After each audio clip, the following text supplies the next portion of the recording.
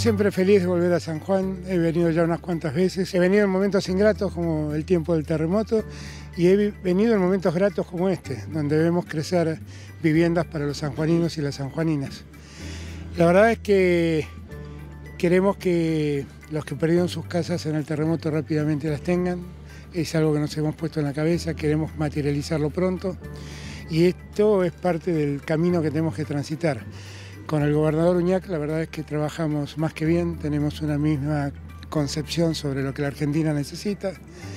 Ponemos todo nuestro empeño, nuestros equipos están absolutamente unidos para lograr los objetivos, que no son otros que darles mejor vida a los argentinos y a las argentinas, en este caso a sanjuaninos y sanjuaninas. Hablamos con el ministro Ferraresi, que estamos cerca de construir la, casa número 50.000 y de, y de terminarla y entregarla y que queremos que sea acá en San Juan, porque para nosotros es muy simbólico.